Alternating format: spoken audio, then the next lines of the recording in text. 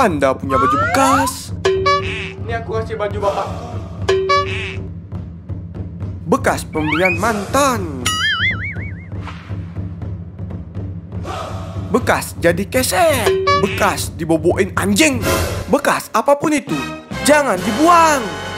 Kita akan mengubahnya menjadi tas belanja. Siapkan baju bekas Anda.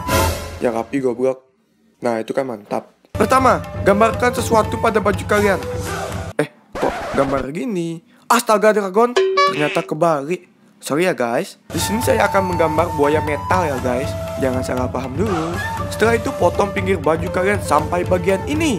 Penting, potong baju jangan sampai lewat batas. Kan baru dibilang udah lewat on sih. Buang.